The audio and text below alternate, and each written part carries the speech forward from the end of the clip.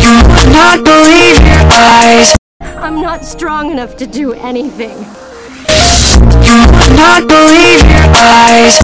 Uh, what the heck just happened? You would not believe your eyes.